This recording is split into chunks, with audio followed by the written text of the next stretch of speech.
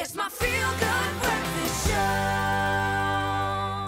Welcome back. Not to stress you out or anything, but this morning we are talking about stress. Um, oh man, haven't we had it in spades? COVID 19 has significantly impacted our lives over the past year and a half. We have seen increased levels of anxiety and stress during the pandemic, understandable. And while workplace stress and stress at home can be considered normal, when it interferes with your productivity, with your performance, and your mental well being, your mental health, it can become a problem. Well, take a deep breath because this morning we have a panel of experts. When I say panel, we've tried to call in as many people from different spheres to talk about stress because I mean it has angles all over. And in the studio, uh, just to make sure that we take us through all of the elements and the different uh, ways stress affects parts of our lives. You know, just it's important to do that. So first off, we have biokineticist Ilona Philander, uh, who'll be telling us a bit more about the physical impact of stress and how exercise can actually help. And I think this is just a perfect example of how we can physically attack this whole stress thing. Welcome. Good morning. How are you? You, Fantastic. you look Good. so relaxed. You look like the least stressed person. that's what that's the environment we want to create this morning. Exactly, Yeah. man. That's that's one of the perks of the job. Um, I, I felt it in my own physical journey. There is, unfortunately, you can't isolate stress as being an emotional thing Yeah. or Yeah. a mental thing. We live in our bodies, and our bodies try to release and process stress. But what is it? What is stress? Stress, actually? yeah. So basically, your body is just responding to a stimulus called a stressor, and Yeah. because we are un- under such high demands, like you mentioned, with- mentioned with COVID and so forth, you know that body experiences that that input, and then it also responds to it. So if the body is under that excessive stress all the time, you know, it starts having effect, that side effects, and yeah, basically that's what stress is, just that high pressure all the time, the on, on the body, and your body then responds to it and adapts to to those changes. You know, like the universal sign of stress is always this, eh? Yeah. Yeah. And I mean, uh, you know, you know, you know, someone's stressed when there's Yeah. there's always like that creak in the neck. Yeah. Like, how does stress actually affect our body physically? physically. So you'll definitely start feeling it fatigue-wise as well. You know, it reaching that point of burnout, you'll feel more fatigued. Yeah. And basically muscle muscle tension. That's I think That's the neck thing, eh? the neck thing Like- on your shoulders. You just feel, oh, I feel so heavy and exhausted. So basically, yeah, it's just feeling y- that headaches, that anxiety picking up. You don't feel sort of at your maximum performance Yeah. each and every day. So it does it does take a toll on, on how you operate each and every day. And I always find it's like that. Someone once gave me a brilliant analogy, like a seesaw. And Yeah. you keep loading the one side, one side. Yeah. You might be able to push it correct, but it's still going to keep going unless you do something about it. Yes.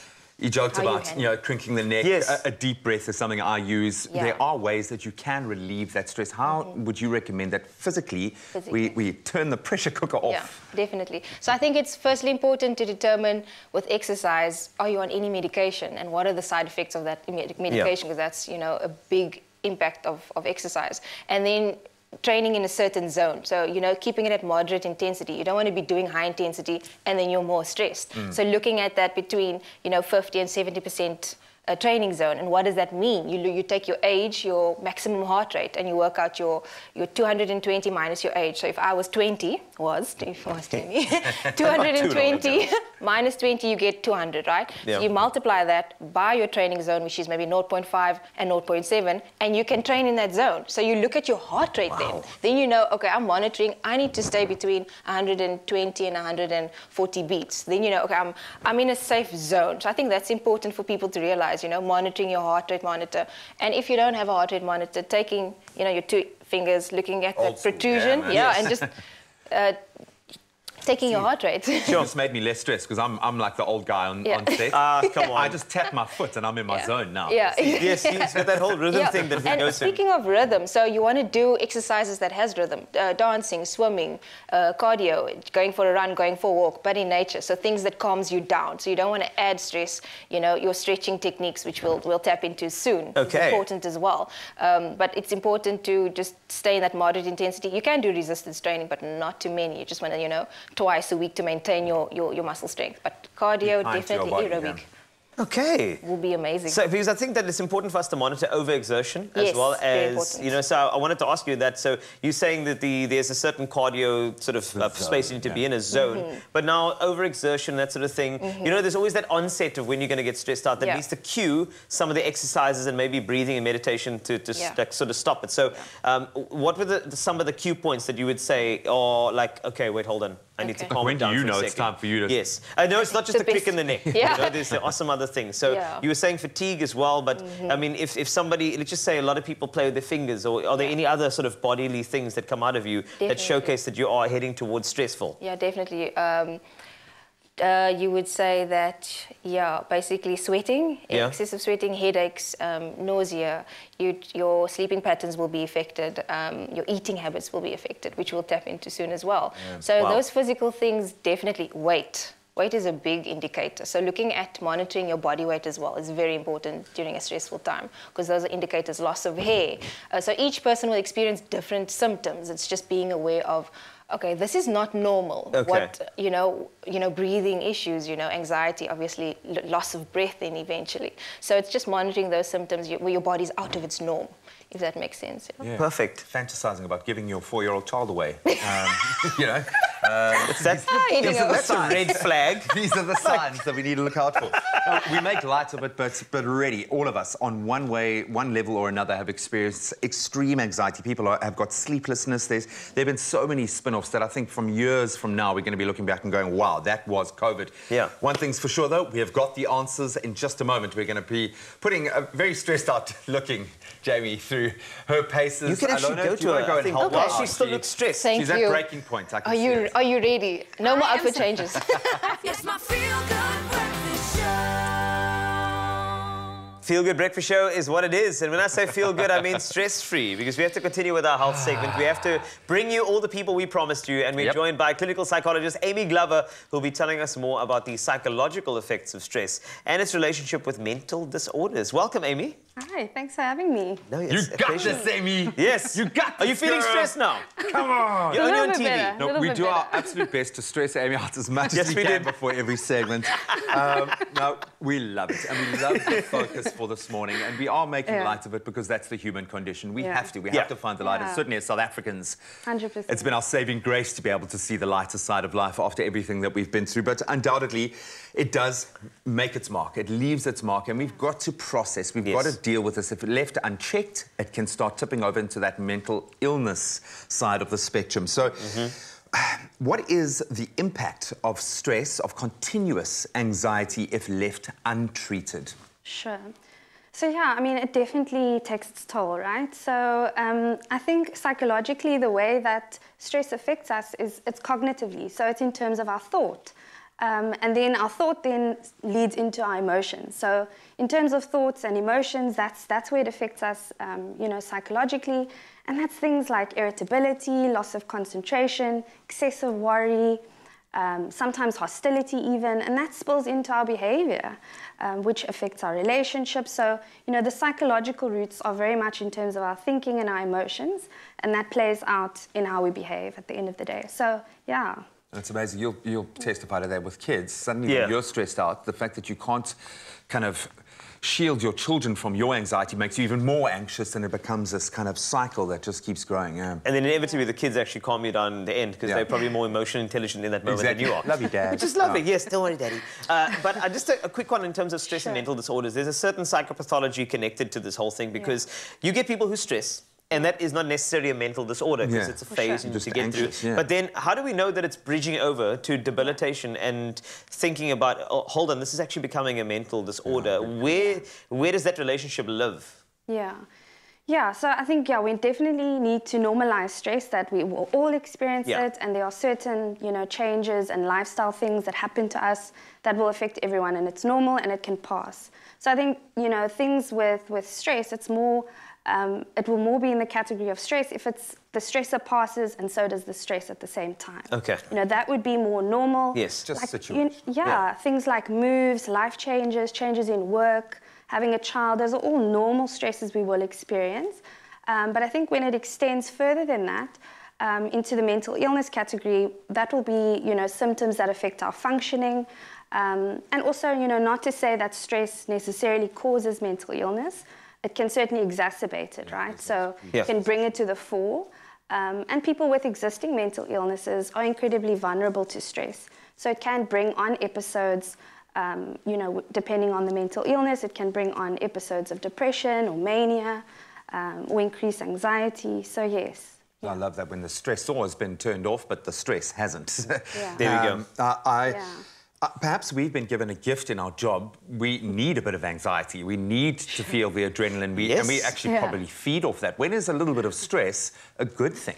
Yeah, yeah. There, there is a norm again a normal limit to that, right? So um, I think if stress is still helpful as a motivation, if it's still you know a healthy window that's getting the task done, um, you know you thrive off a bit of the adrenaline, then that's normal and that's good, and that helps us you know achieve certain things. That helps us excel at times. Um, but you know, if it's now tipping over that window and it's standing in the way of the task, then that's you know it's no longer good for us. Yeah. Because then we can't perform a task. You know, I think a a, a very um, common example of things like a test, right? I think that's one we can all relate to, Sure. or driving test even. That's a common one.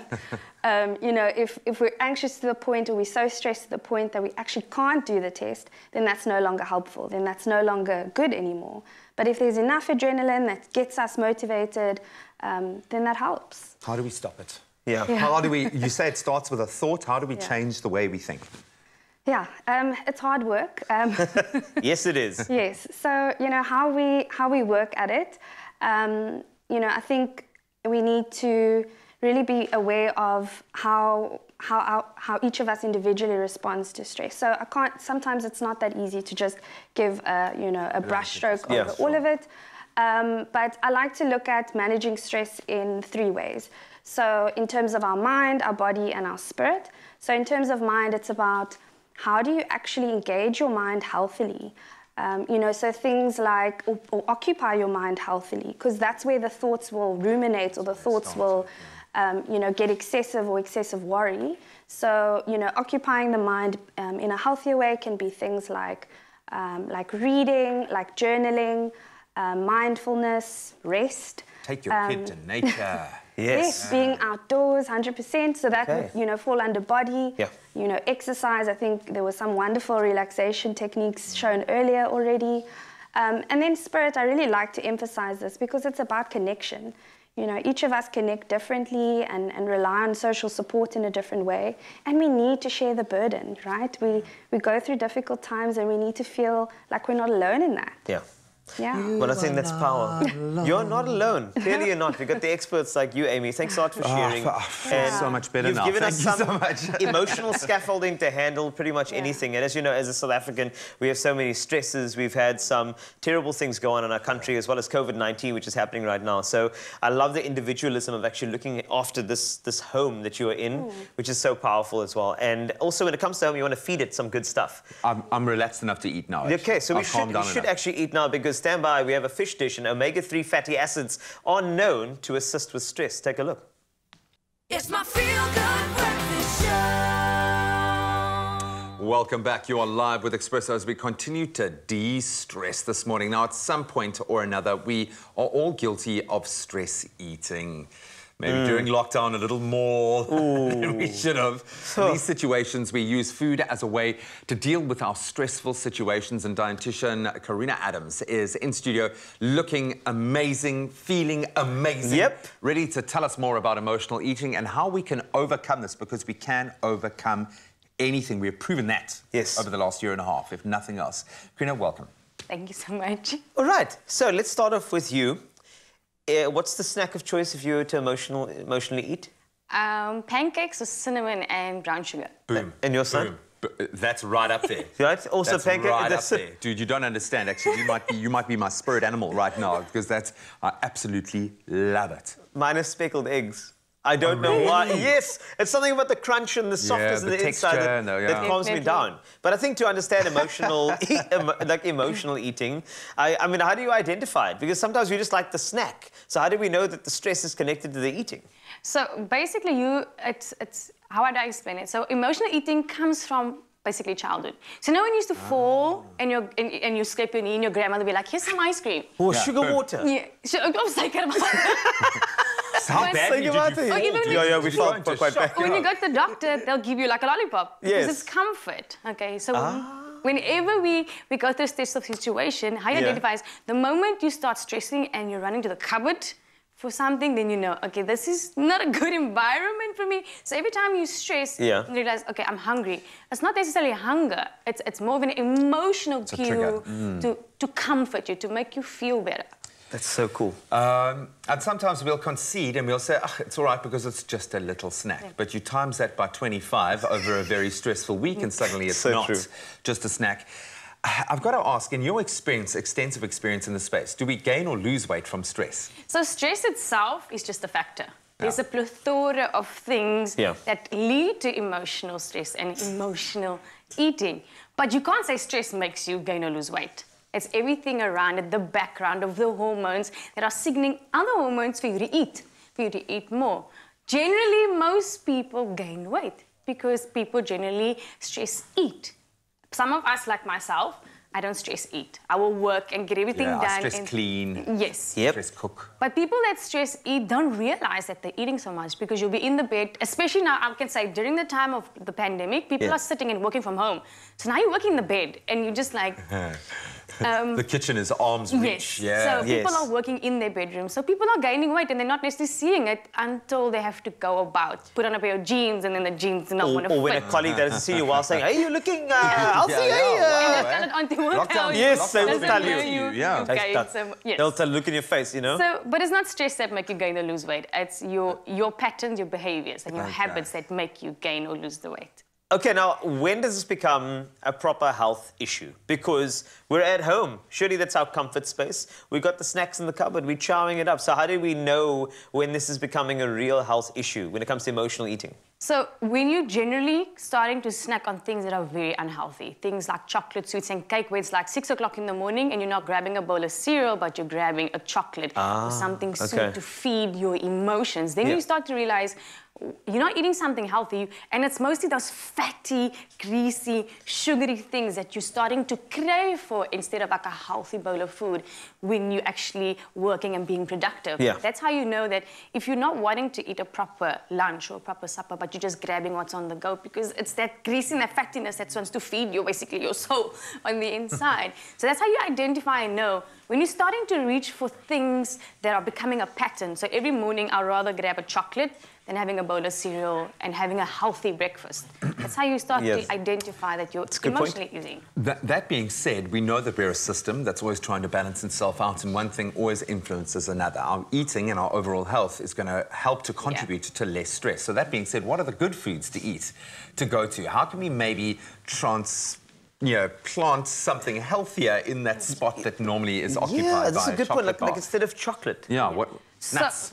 Like, what Yes. do we do? So for me, me, my friends, even work colleagues, you have a cup of tea is one of the one of those things that actually is very soothing, very comforting. Also, tea helps unfold the stomach, so then you get this feeling of satiety, so it doesn't trigger the brain really as much as you are hungry or craving something. For chocolate, you would per se, dark chocolate. Natural dark chocolate of Okay. 70 or percent up cocoa is a good replacement, but it's not always palatable. So I always tell people. Yeah, it's very bitter. Yes, it's very bitter. So what you do is you, you're trying to find a way to make it better. I usually tell people you take some, even some almond milk, and you melt the dark chocolate in there with some honey, and then you get it in that way. So you get hot Wow. chocolate, and there's not so much sugar in it, but still getting in that feel good. The dark chocolate actually triggers your brain to have this feel good feelings. Endorphins, yeah, Yes, so, it- so that is a good replacement. Things like nuts. So nuts like pistachios, almonds, and walnuts actually contain magnesium, and those help. It's been linked to to basically bring down anxiety, stress. it's a and natural stress. antidepressant. Yes. Fantastic. So naturally, you bring those things down, but more so whole grains, fresh fruits, fresh vegetables. They actually what they do is when you're getting fresh whole grains and fruits and vegetables in, they've got fiber in them. And that fiber actually goes deep down into your gut and they feed your healthy bacteria. Now, your emotions actually Gut start health, in your gut. So if you're not feeding your good you. bacteria, it can actually lead you to becoming very sluggish, very Yeah. fatigued, and basically even depressed if you are not having a good variety-based diet. Well, when they say trust your gut, they meant it, hey? Yes. I'm so hungry right now. Yes. Not from stress, just because you've spoken about some amazing things. Thank you so much. Thanks a lot. I mean, just by the, the radiance of your smile, clearly you are eating the right things Yeah. and you are saying the right things. Thank you so much. That has been hugely helpful. It starts in the gut. Take care of yourself. Take the time to take care of yourself. That in itself, just that exercise of self care, might start a much healthier process and a journey towards less stress. It's my feel good breakfast show. Welcome back to your feel good, stress free breakfast show because today it's all about stress and we have brought in so many experts to chat you through all the facets. And as adults, we always focus on our personal stressful situations and forget that stress can occur in kids as well. And that's why we got the kid, kinder kineticist, Amelia Adonis. She's back in studio to ensure that we know all about stress in kids, something that can help us parents with uh, so many little things that we perhaps don't really see in the Doesn't that nuances. of stress you out when you It think that your kids might be stressed and you are not doing the most? Amelia, thank you so much for joining us. Um, we've seen you at work with kids and we kind of Yeah. get the energetic kind of, you just are amazing in that space, which is, is beautiful. So I, I'm sure you have become pretty expert in identifying when a child is those smaller kind of things. What, what as a parent can we look out for that our children might be stressed? Because boy, haven't we been through a stressful year and a half. Definitely. So what you can look out for is basically tantrums, um, unexplained tantrums, unexplained headaches. If they say, "But my head is paining," or "I have a stomach ache." Um, also, things that you can look out for is when they start withdrawing. If it's a very active and happy child, and they start becoming quiet and just sitting in, for instance, in a corner. Um, things that you can also look out for is lack of sleep. Um, and that obviously occur, obviously leads to headaches at the end of the day as well. Um, so yeah, and obviously because children can feel what we feel, Yeah. and with the whole COVID-19 Yeah. pandemic and everything, it leads to stressful situation in kids as well, and we forget that. Yeah, they, they have the same level of emotion, but maybe not the same level of processing ability. Exactly. So it can be even more stressful for them. Exactly. Okay, so if you look at our stresses in the home and also at school and all around, I'm sure there are a few of those that do affect our kids. So, Yes. what are some of the things that we need to look out for as parents that could lead to stress in kids? Okay, so one of the first things, obviously, like I said, now in COVID-19 as well, because Yeah. they need to adapt. So adaptability to maybe moving from one place to another place. I need to go stand in a line in school. I need to make sure that I'm a few meters away from my friend. I need to make sure that I'm sanitized, I have my mask, and that's already a stress on its own. Yeah, true. I forgot my mask at home. What am I going to do? Is he just going to go at me right now? Yeah. So what would you do? That causes stress as well. Um, and also things like bullying, peer pressure, um, all those things also adds up and leads to stress. Yeah, we know bullying, one of the, the biggest contributors to teen suicide at the moment. The fact that a child could feel so helpless in that space because of something like that. So I think that's something where parents need to be on, really on it. Let's talk about our younger children, our toddlers and our babies. Do they also experience stress? Do they have the capability? Of course. So I think that um, because yes, they are small, but they actually have big feelings. So Yeah. I say that babies, they are sponges. They absorb everything. So if my mommy or my dad is going to be angry, they're going to feel that because their senses are so active. Um, because obviously everything's happening in the environment, they can feel it and they can sense it. So they take it in. So if I'm going to take my child and I'm going to pick her up. Normally, I'll pick them up very quietly and very gently. Yes. Now I'm angry and I'm stressed. It's always going to be like, oh, come, I need to put you down at the next get you changed, give you a bottle, there you go. So all those routine changes, all those things. So you get stressful, it goes over to the child as well. They mirror that. Okay, so, so this is just an opinion, but I find that so many parents, if they detect any stress in their kids, first thing it is, is here's a tablet. Yes. Or let's watch TV together. Mm. Let's eat something. You- you- but I, I want to find out like how how do we constructively actually address the stress within our kids as parents? I mean, are there better ways instead of saying, okay, don't worry, let's throw the tablet in your hand, that we can actually just calm them down a bit? Of course, I'd say listen to your child. All right. Listen to what they are saying because your child will say, Mommy, I don't feel good today. Mommy, I feel ugly. They don't like me. That's all things that causes like stress from Yes. school. So listen to what your child is saying. If your child is coming and say, but listen, I'm not feeling good today, or I had this very difficult day, that's stress as well. Yeah. Um, so I'd say listen to what your child is saying. Um, go through and like I believe that also they have an emotion chart. So maybe you can Google it. That's you can cool. get it from you um, from Google. That's cool. Um, and then obviously with all the emotions, so happy, sad, confused, angry, stressed, and obviously children they link to pictures and colors, so they can True. go, okay, so how are you feeling today? I feel happy or I feel sad. And also you could even have, even have that in schools. So in front of your school, in the door, as they come in, you can say, okay, how are you feeling? If there is time, obviously, I'm feeling sad. Next shot comes great in. way to I'm check feeling in. happy. Hey? Oh, my fiance would love that chart. she would just, she's just going to be sitting pointing at the chart as soon as I walk in the house. So mm-hmm. Go to the you chart. are- You and that's the thing, like, because parents as well, they can also do that. Because We need to talk. we are also kids at the end of the day. to Talk. Yeah, 'Cause we're also sure. kids, like, Okay. silently. Well, we've got some big kids in studio, yes. um, Exactly. um, we, we, we can identify with that, but take nothing away from it. I think this has been the key for me and my little guy is activity, is physical activity. Yeah. Yes, Connect with your body and release the stress. So we're going to let you go and do that right now.